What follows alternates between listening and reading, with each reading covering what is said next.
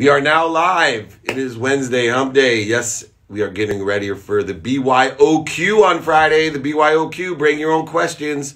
That's right. Training on Friday, 11 a.m. Pacific, 2 p.m. Eastern Time. BYOQ, bring your own questions. It's your turn to ask me the questions, my turn to answer them. Looking good, Jakey Bakey. Sounding great, Jakey Bakey. Looking awesome today, everybody. So excited. Got a lot of energy going. Got a lot of people we want to come on live. Uh, thank you so much, Allison. I appreciate you coming on. Team Meltzer, where are you? Uncle David is in the house. Colt, thank you, John. Welcome, welcome. Let me know where you're coming in from. Let me know your biggest takeaway from last week's training. BYOQ this Friday, 11 a.m. Pacific, 2 p.m. Eastern. Looking for Team Meltzer to post up 949 298 2905 and David at dmeltzer.com. Uh, always wonder why Team Meltzer is late to the game. You got to make sure you're only as good as your team. You know, you could be as great as you want, but you're only as good as your team, and the ball is always going to find the weakest player. All right, so you got to work with everyone in those values, making sure that we all as a team are forgiving, accountable, gracious, and inspired. How did oh. How to deal with team members who aren't as invested as you are? Well, first of all, that's going to be an everyday occurrence an everyday occurrence, and there's something called pay. So you pay the people that feed you, you feed the people that feed you, and you don't pay the people that bleed you. And you allow them to figure it out. Right? But on every single, from family to business to sports, there is going to be a hierarchy of those who care more than other people. That's why there's somebody that's the first one there and the last one to leave. Right? It's very obvious. It's not hard to find out. And you pay the people that feed you. You feed them. And you get rid of the people that bleed you. Or you allow them to fall away. Or you allow them to maintain mediocrity within the context as long as they're aligned with your values and they're pursuing their potential, maybe at a slower pace right? Maybe they have a lot of issues getting in their way. A lot of different variables. But yes, you invest more in the people that are investing in what you want. And integrity is very important, right? Integrity is important. You know, just because you come clean doesn't mean it's the truth, right? Doesn't mean it's the truth. Oh, you know what? I forgot to tell you this. No, no, no. We're all on the same page. We have to, number one, Number one, credibility. Credibility. You oversell, back and sell, lie, cheat, manipulate. Think about it. Now I'm looking. I'm looking for the people that lie, manipulate, cheat. I'm looking at the things you do well for where you're lying, cheating, and manipulating. That's why we got to work on our credibility all the time. And we have to illuminate when we make mistakes. And we have to say, hey, just be honest. You know what? I didn't tell you this, right? I don't have bad intentions, but I should have told you this. That's what I'm talking about. All right, training. David at dmeltzer.com gets a free book, my free guides, free training, right? I'm BYOQ. We're going to do BYOQ every single month. Bring your own questions. And I'm also going to launch the two minute drill. Uh, two minute drill is going to be a pitch competition, and you're going to win free coaching from me. Uh, we're going to do it once a month, have a pitch competition, two minute drill, two minute pitch and then three minute uh, feedback from me, and the winner is going to get free training from me one on one. That's right, we're going to make it happen. We're going to build your business together. What are your thoughts on starting a new business opportunity during this episode? Excellent. This is the best time to start a business, right? Margins of millionaires are made during these times. Great businesses were built in 2008, all the way back to the Depression. When there's disruption, this is the best time to build that business. I'm looking, uh, is Raleigh here? Must love sports. My Wasserman group, are they in the house? Who has their questions ready for Friday? BYOQ, that's right, on Friday. Oh, wow, they loaded up questions already today. that's awesome. What's the best advice you received? You don't know what you don't know. Three simple words. You don't know what you don't know. Best advice is to be radically humble. Uh, you know, to literally be radically humble. So, you know, it, it is what it is. Best advice uh, I give myself still today I don't know. I don't know. Um, let's see here. We'll get, grab somebody live. There we go. My friend here to join us. we go. Anybody know what Wasserman is? This is our director of athlete exchange at Wasserman. Must love sports. He's the founder. Genius idea. Is she? All right. Hey, hey, that works. I'll take it. I whatever. I, How are you, David? Can you hear me okay? Uh, illuminating, and I'm sitting here going, he's a good friend of mine, and she shows up. So there, there you go. Welcome to the world of hey. honesty. Yeah. yeah. all sorts of friends. Thank you so much for joining me. It's so amazing. Good.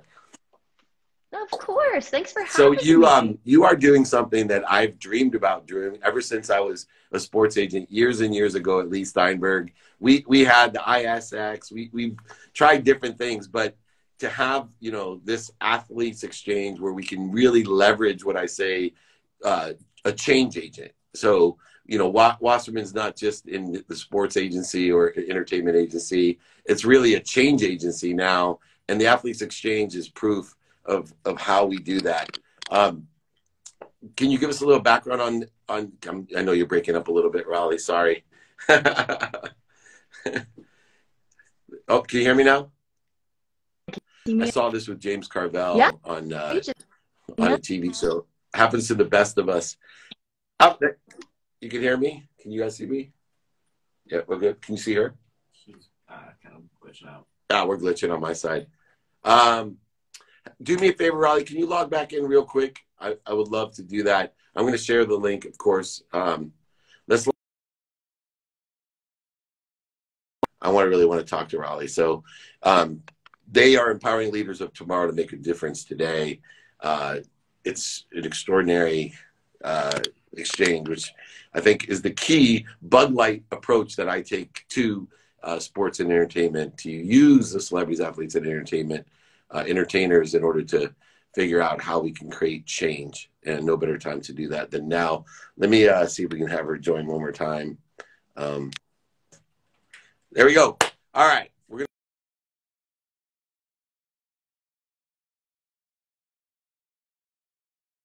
to log back in here. Sorry.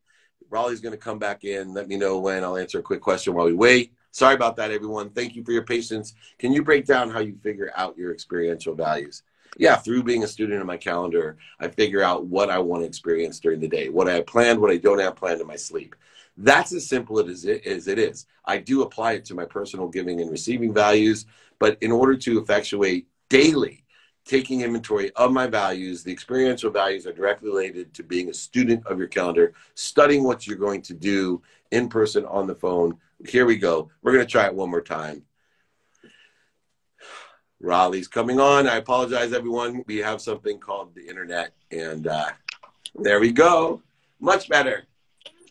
Yeah. better? Let me know. We're beautiful. Okay. So I've got the backup and the other backup if we need it. Well, I'm just I'm so excited because I've always taken a bug light approach to athletes. I think that the greatest use of an athlete, a celebrity, or an entertainer is the impact that they can have, this change that they can have, but also the support that we can give them because, like everybody and everything else in the world, we have our core competency, we have our quantum memories, but we all have places that we need help. We may be super strong in one area, but we all need help in another. And I think the athlete exchange at Wasserman is a classic example of how we can really look for the superpowers in ourselves and others and amalgamate or aggregate them for the greater good. Can you give me a, a little bit of background on how you created it and what's the main empowerment intention of the exchange?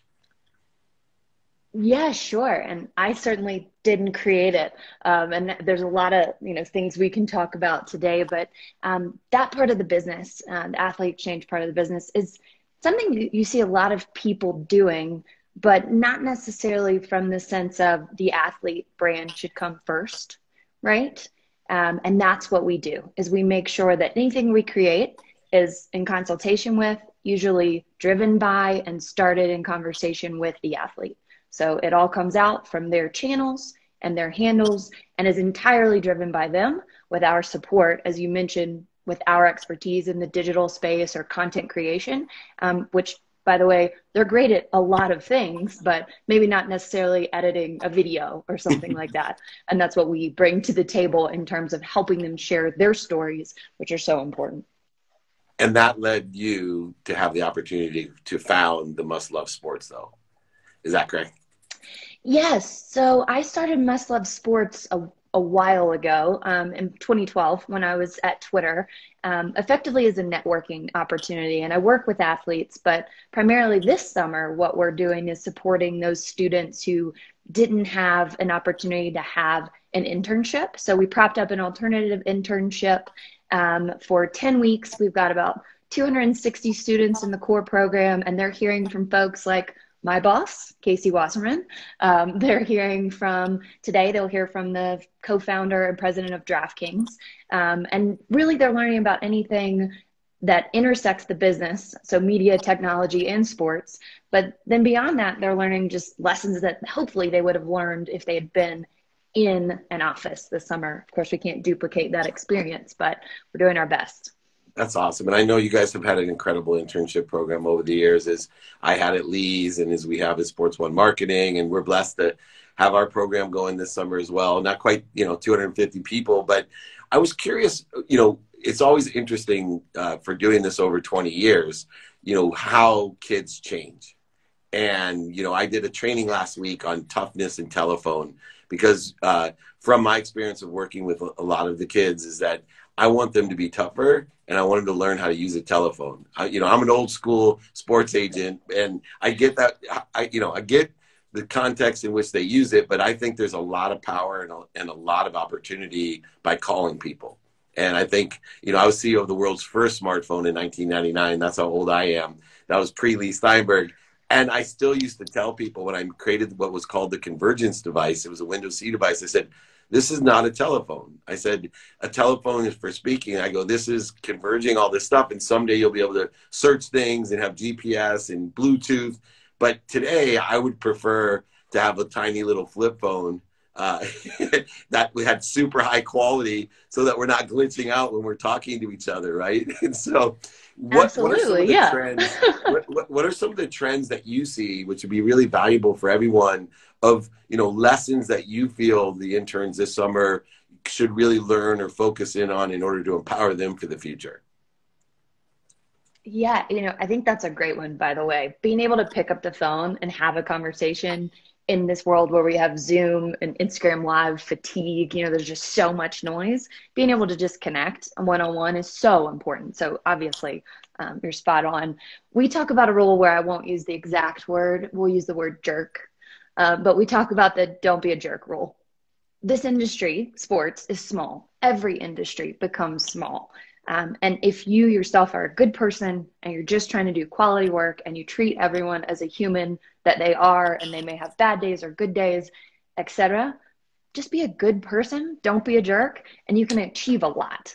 Um, so that's that's a lot of what we're talking about. You know, we're talking about the whole summer of making lemonade because you've been dealt a whole bunch of lemons in this situation, but so has everyone. So the positivity or what they're bringing to the table, um, and I've seen some of them commenting, which is great, um, has been awesome. Um, just because they could be very negative about the situation. So don't be a jerk, be positive, and certainly provide solutions are kind of what our core things are to talk about, but obviously it can go a million different directions. And we're getting amazing advice from our leaders that are coming on, um, and obviously they're they're looking to you as one of those as well. Oh yeah, I would love. I'd love to come on too if you have an opportunity. I'd love to talk about Thank being you. kind, I- being, being kind to your future self, toughness in telephone, and then finding the light, love, and lessons in everything. That pain's an indicator that you have a lesson to learn. So if you want me on there, just give Jakey Bakey a call because we'd love to. We'd love to do that. Jake's the man. I'm familiar. Well, well done. And I see the Chargers gear there. We had a lovely gentleman talk about be kind. Um, Tom Telesco uh, Yeah. jumped on and emailed me directly through our form. Right? He saw the form, didn't even, you know, think twice about it, and said, "I want to participate. How can I do it?" And this is a man who's got a lot going on, right? But he took the time because he himself was an intern, worked his way up through an organization, and now is where he is. Um, so, you know, just a great example of, of good people and the Chargers organization, as I see your, your lightning bolt. Yeah. So, got to give some shout suffering outs. suffering fan still, and then just uh, ho- hoping that I, I have my new podcast studio and office at the new stadium, and uh, for both teams, but. I'm partial to this theme here and grew up in San Diego. Um, it's interesting because my one of the other things growing up in the industry with Casey uh, and Lee, and you know what they call now. I'm old enough where they call you a legend, right? That's just an insult. I'm like, I'm, no, call me a legend. it's a when I'm like great 90. comment. I'm gonna be a legend when I'm 90, not Please. It's I'd rather be yeah. a legend starting at what, 21? Is it 21? 22. I'm sorry. But- Happy birthday. but the cool the cool thing is about being a little bit older and having you know over 20 years of intern program and with Wasserman the same way and there's some other companies as well as you know. But I love seeing kids that were interning for you or interning for me and they're presidents of teams right? They're in their they're, they're the 40 under 40s you know it, it's like my heart sings it's it's like I tell my wife I go it's like being able to have my kids all grown up and you sit there and it's you know the the head of the Tiger Woods Foundation or a president or GM of a team or you know on ESPN and you were like this was this scared little kid that barely spoke up. And we empowered him with gratitude and forgiveness and accountability and taught him about inspiration and taught him to be kind to his future self and herself by the way. And bam here I am old enough to see you know these people are calling me going oh my god what can I do for you and it's just I think the Right. biggest biggest uh, best experience that I've I've had in my whole career. What can you share with me one of your guys' success stories? I know you've had so many great interns. Is there one that you can share from your program? You know, so our program is relatively, at least the Wasserman program has been going on forever. This piece Yeah. that Wasserman has empowered me to to support, um, obviously rose out of the the problem that was um, COVID eliminating amazing ones. But I will tell a story, and he'll he'll shout me out, I'm sure, if he's listening. but um, I have started my career at ESPN, um, and I couldn't agree with you more. By the way, the biggest compliment is for someone to go off into the world and say, "Oh, you helped me there." Or hey this person used to work there and therefore i know they are great right? That's the that's the coolest thing in the world. But uh, i worked at espn and i quickly learned having been a history major that i definitely needed more business acumen. So i applied to business school and had had an intern from the summer prior called him and said hey i'm going to business school. This job will be available. You were a great intern. Hop on it. Like give these people a call. Let them know. Um, flash forward to working at Twitter. He then joined me there at Twitter, and we joke, "Hey, when are you coming to Washington? When are you doing whatever?" He's very happy at Twitter, and he's absolutely crushing it. Um, I was at his wedding; he was at mine, but it's a great story of just you know somebody who's awesome didn't need me at all, but now our careers are connected inherently because we're kind to each other. As you said, you know, we're always connecting and staying uh, in touch and learning about each other's business, but inevitably we've got that sort of pull each other along um, and i can call him he can call me etc so that's one of my favorite sort of stories. But what i'm excited about for the, the folks this summer is they have been so positive that they are reaching out. They're creating what we call their squads. They're making sure um, to work to get to know people before they need those people right? This Yeah. is the first time i've asked a lot of my network for anything because they're just friends and they're colleagues and i learn from them. They're much smarter than I am. It's like you and Jake, you know, I'm going to learn from you guys all the time. Um, but the best thing about it is now when I do say, Hey, I really, I need a favor, they're happy to do it because our relationship is built on so much more than a give and take um, at any given time. So just a couple examples there that have been really fun. I know that you're extremely good at asking how you could be of service or value to others, and that's why you are successful because you're Yeah. being kind to your future self. But I'm going to teach you one last question as I go to the next person. You got to make sure these kids are asking this question, and you ask it as well. Do you know anyone that can help me? People are afraid to ask for help, and if I can teach one question, and I will bring it up when I when I share, hopefully, my experiences with Wasserman and in your group. But if you can teach these kids, just we want to help everybody out. They, they want, they may not always have the time to help or the resources to help, but it's a numbers game. The more people you ask, do you know anyone that could help me? It includes them. I promise you, their careers will escalate. You and I both know that our careers are built on asking of how we could be of value and service. And the one regret I have, the one thing they say, I wish I would have asked for more help when I was young. I could have accelerated my career even more by leveraging all those people who wanted to invest in me and wanted to help me so we can share that great experience of their success by elevating others. And I appreciate appreciate you for elevating so many others. I look forward to helping however I can with your program. And we'll have you back on. Thank you so much, you. Raleigh. I appreciate it. Y'all have a great day. See you soon. You too. Bye-bye. Thank you. What a blessing. What a blessing. Must love sports. Of course, the Athlete Exchange at Wasserman Senior Director, Raleigh Gray. Go ahead, look them up. Maybe they'll be doing it next summer if we're back into uh, a situation, but you cannot find a better place or better people to learn with than uh, Raleigh and Casey and the whole, whole crew over there at Wasserman. They're just really, really beautiful people uh, with a great vision. And we've been blessed to have Boris and Lee and Bruce Tollner and, you know, all the greats in here. Um, and CAA, uh, the great Allison McGregor and Brian Scher.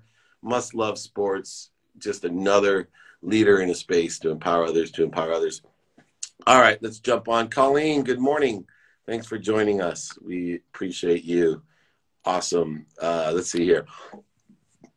How is the best way to apologize to someone you hurt? First, you got to forgive yourself. Before anyone's going to forgive you, you got to forgive yourself. Look for the lesson of what you did to attract it to yourself and the lesson that you're supposed to learn, and go articulate to the person what you did and the lesson that you've learned best way that you can apologize. Uh, you don't have to ask for forgiveness. Forgive yourself. Uh, and looking, of course, Stephen here. Let's get another quick question in. Thank you very much for all the questions. Don't forget BYOQ. That's right, Blaine. BYOQ. Friday, 11 a.m. Pacific, 2 p.m. Eastern Time. Join me. Bring your own questions. I'll bring the answers. Hopefully, you'll like them. And if not, you'll have something to go against. Perfect. 11 a.m. Pacific. Text me 949 298 2905 if you want a free book, free guides, or free training. Text me, free, free, free, or email me, david at dmeltzer.com. David at dmeltzer.com. Go ahead, register, get a free book, get from free training, free guides. It's all free. What is the most important question you have asked yourself? Most important question I've asked myself. What did I do to attract this to myself? Right? And, and looking for that lesson. So, uh, being accountable is the best question I can ask. If I can figure out and raise my awareness of how things are attracted to me, um, then I'm going to be there. Let's see here. Uh, Stevie, my man. Let's go live with Stevie. Stephen Benedict, professional track athlete, but more importantly, the founder of the Fostering Success TM and Empowering Movement. There he is. You look thrilled to be here, my friend. What's going on? How's everything? It's fired up this morning. How about you? I'm, I'm great. I'm great. Um, it's a pleasure to be on with you guys. I look forward to hearing from you. And, uh, you know, this is Alex set this up, and I'm just really looking forward to talking to you a bit. Well, you have, you know, such a great mission. I'm on a mission to empower over a billion people to be happy via finding a thousand people like you that I know are already empowering a thousand to empower a thousand, especially when you're working with so many kids. And when we're working with, you know, fostering kids and, and helping kids, the amazing thing is it's such a subtlety of success. One little change, you know, Jerome Bettis has uh, a, a project where we're giving laptops to kids and and people are like you know what impact does that have? Well i know some really intelligent kids that want to go to school want to be extraordinary people and one little subtlety that they don't have a computer now to be able to you know impact themselves with education because there's no school oh my god they could end up in an incredible place. So how did you get involved in founding uh, the fostering success program and movement that you're in um, you know, that's a great question. And it, it, basically came to me about like two years ago. I was coming back from Italy and I was training in Italy and competing over there.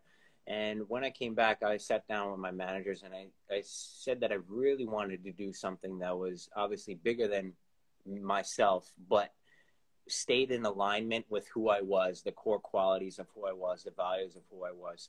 And uh, so basically, you know, I came up with this project and, and this nonprofit that it's called Fostering Success, and there's two entities to it. There's, you know, what I've brought into is the elite athlete side of who I am, and also the foster child side of who I am, because I was raised in and out of foster homes for six years with my younger brother, and so I married those two together, and what what I've done, I've taken the approach to nonprofit in a different way. You know, I've been to so many nonprofit dinners, such as I'm sure as you have as well, charity dinners, and there's always that that aspect, that atmosphere of knowing that you're going to get asked for some type of support, some type of money, and, and, and anything at that at some stage in the in the game. And I really wanted to take that key point out and really focus on what the essence of the project was and and it didn't get taken away. So there's two entities to it. One uh, i build a tangible aspect to it that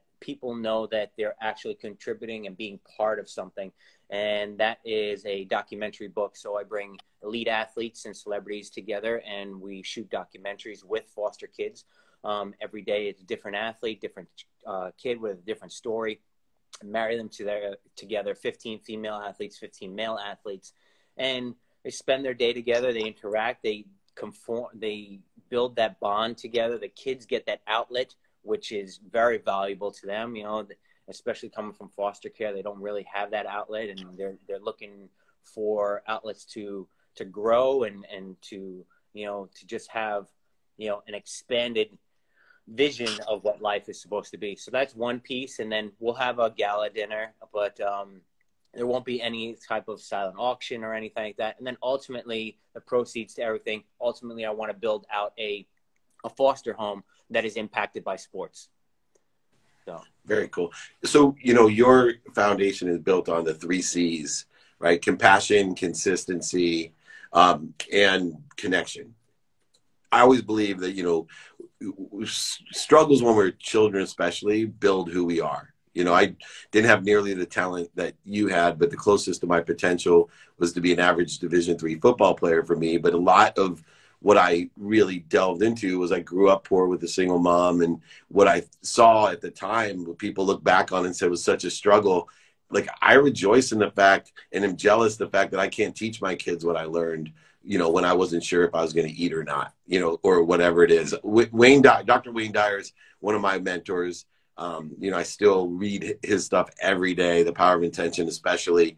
Grew up as a foster child as well. What lessons of connection, compassion, um, and consistency did you learn from being a foster child yourself? Well, I think, you know, th- there was a lot that I learned early. And obviously later in the game um, i'm still dealing with a lot of that stuff and, and, and working through that stuff. It's a lifelong process i think it is for everybody. Uh, but you know first and foremost you know i, I definitely learned the fact of um, when i was adopted my my childhood was very accelerated. I had a younger brother. We were in very unstable situations.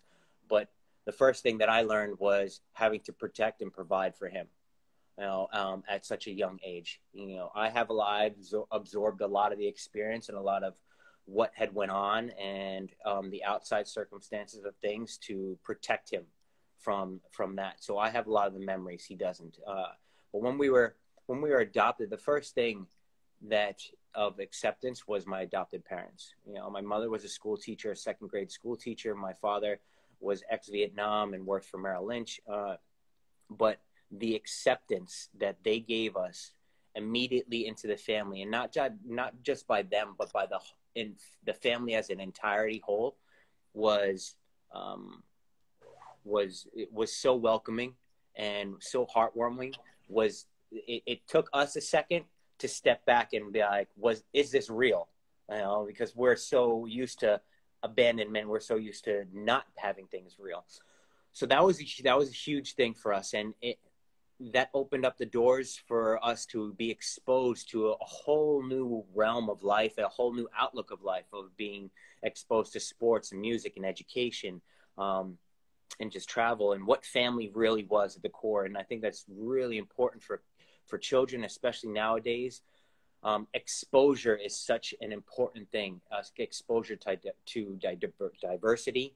Um, and everything across the board you know because we have so many things. Kids are growing up so so fast right now. It's just um, you know that exposure factor is is an educational piece that needs to be in the foundation of things.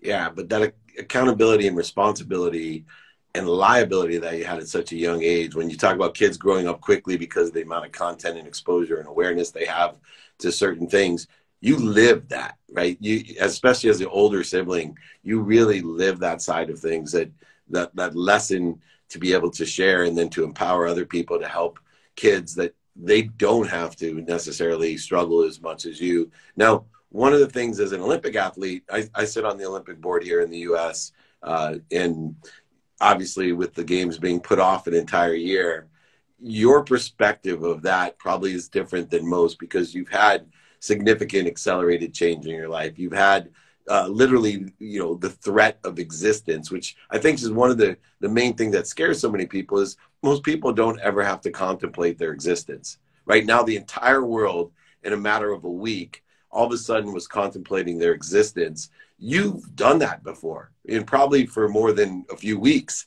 Um, how has that uh, mindset and heart set allowed you to understand and prepare for what has been a really significant blow to a lot of Olympic athletes? Yeah, I think um, yeah, you know, I think the some of the biggest things that I've had to learn was one is patience. You know, I think patience is is a huge factor in anything in life, and and that's been a build up for me, to be honest. You know, I'm I'm a very like patience has not always been my strongest attribute, but it's definitely it's definitely been there the whole time and then also resilience you know um, just being able to push through the factors and, and being able to uh, really be in the moment of where I am currently and say I'm exactly where I need to be at the right time and everything else will fall into place as long as I stay true to my core values. I keep putting in the work and you know just let God do whatever he's going to do at this time. You know, I'm I'm just I'm just living his story right now. So. Yeah, well, you talk about letting God do whatever He's going to do right now. As you said, patience. My wife came on and commented with all these hearts. I'm like, yeah, she's probably the most patient person in the world. If she's married to me, so I wanted to shout out to my wife. I love you. Let me know if my daughter's taking her uh, driver's test today. Oh, wow. I taught her manifestation. She she was gonna go wait in line, and somehow we got a phone call that they had an opening today, and she was just in cloud nine. Anyway, um, la- last question, real quick. All the things that you talk about in the compassion, consistency, connection, patience, all these different core values uh, that your foundation, you know, is built on. Uh, the word faith comes to mind. You know, you got to have a lot of faith. C- can you help us? Because I think you know a lot of entrepreneurs are on here. Uh, a lot of business people that are struggling right now. They're scared.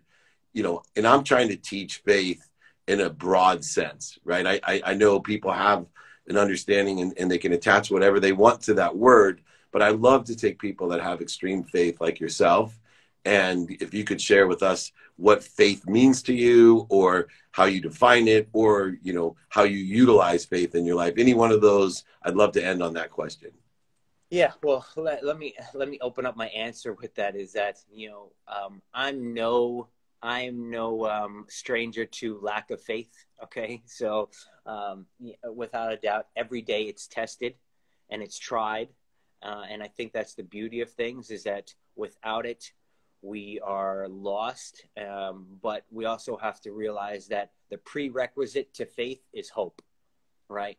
So hope is what our faith is built upon. If we didn't have that hope, then we won't have the foundation to have faith. Um, for me, on a day to day basis, I just I've really tried to not get ahead of myself and in the sense of trying to predict the future because I am not a psychic. I am not God. I don't know what the future holds. And I try not to live in the past. Um, and yes, I've learned from the past. Yes, I've made my mistakes from the past. And I am so accountable for those mistakes. I am not a perfect man at all.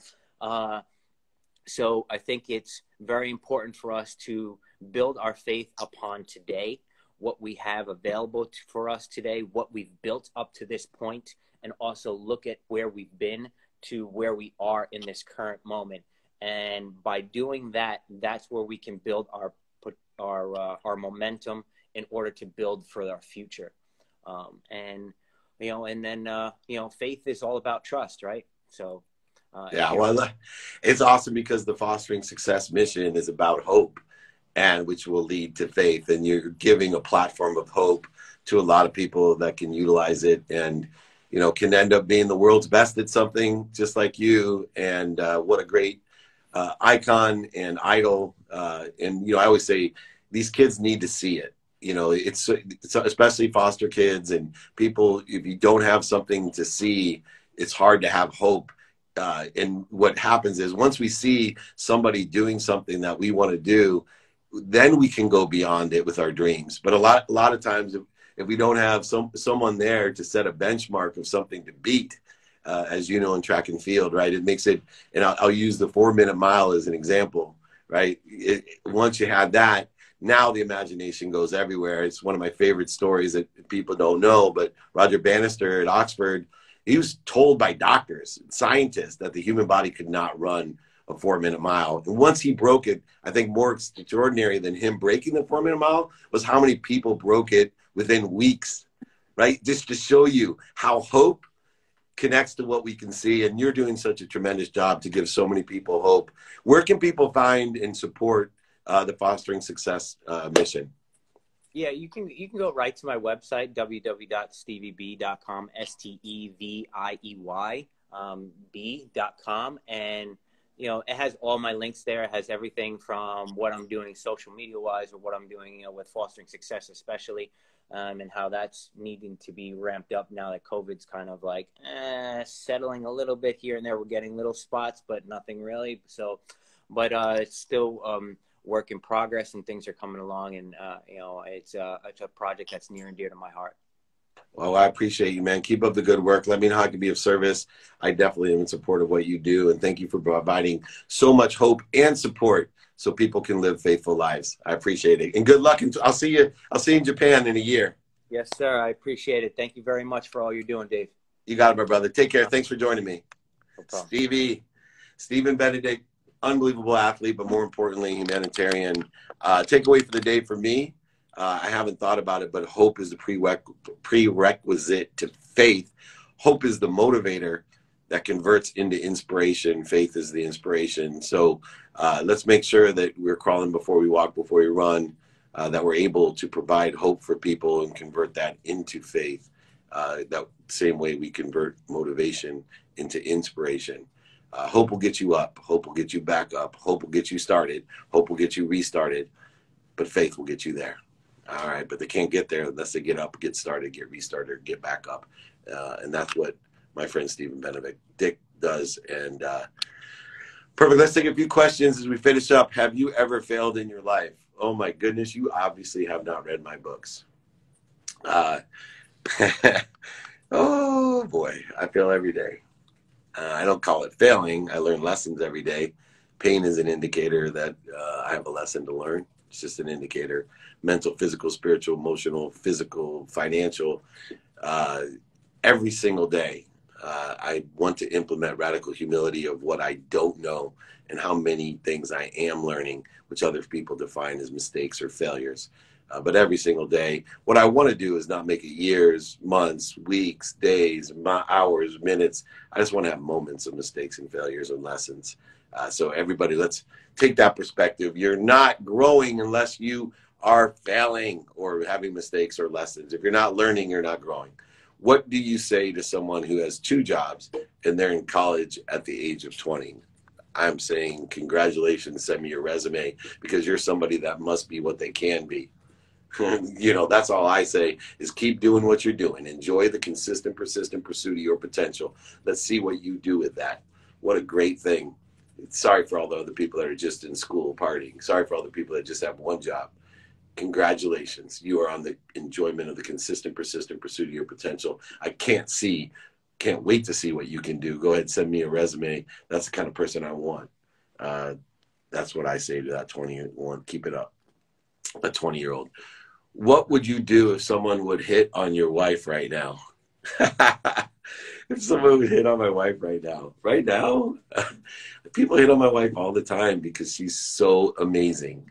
Um, and I would say thank you uh, that you see what I see in my wife. And uh, I wouldn't say thank you if my w- wife uh, reciprocated, but uh, I'm not worried about that. That's her choice. Um, and but no, what a great compliment that would be, wouldn't it be, to somebody to see what I see because uh, she is gorgeous and beautiful and wonderful, the best wife ever. And I'm so grateful to have her.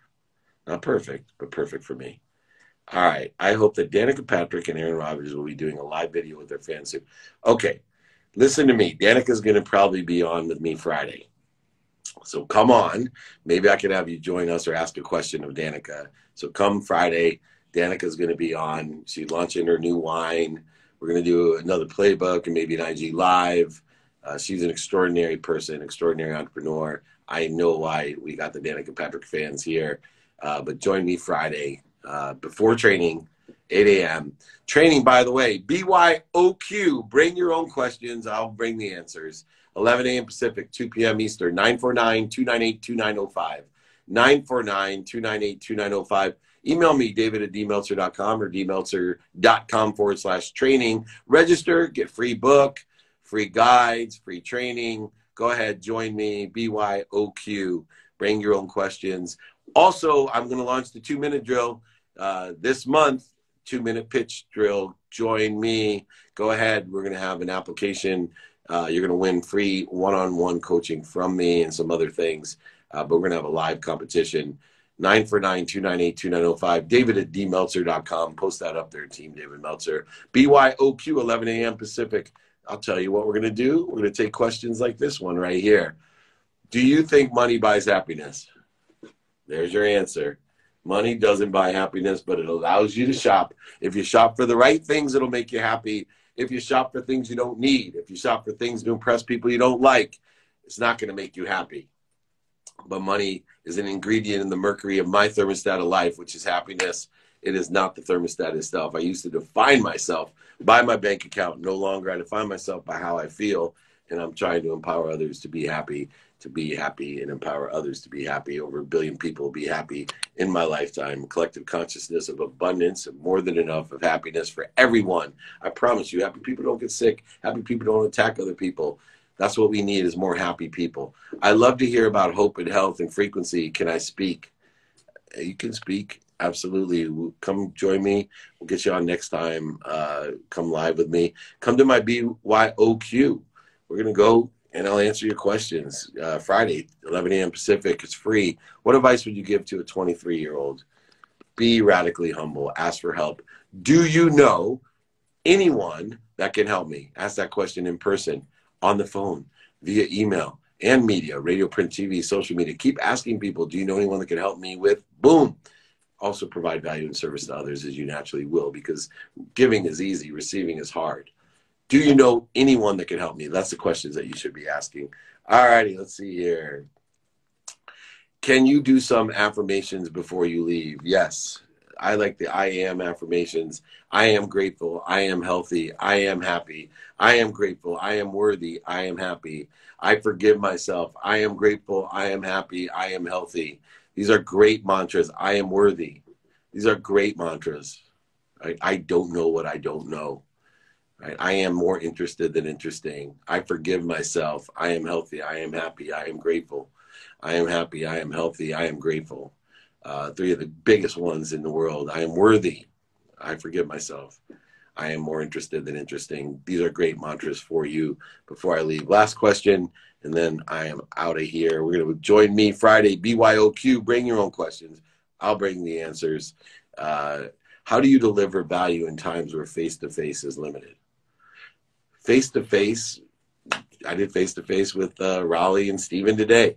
Uh, so it's, I think, unlimited. Um, in person, face to face, you can deliver value.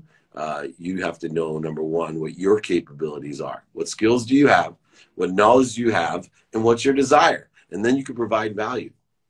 You can provide value to others by helping them on the phone, via email, via media, social media. You can help others by taking on projects that you can do virtually, remotely, if you're not face to face. But there's plenty of things to do. Do not limit yourself by considering you are limiting yourself. Uh, that was great. Anyway, Thank you, everyone, so much. I want to remind you BYOQ is Friday. Bring your own questions. 11 a.m. Pacific, 2 p.m. Eastern Time. It's free, 949 298 2905.